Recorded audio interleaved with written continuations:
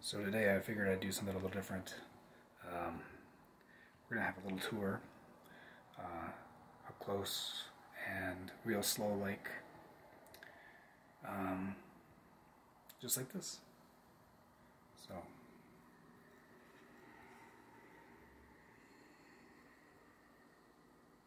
so I can get real close you can see all my veins that you can't see any other time.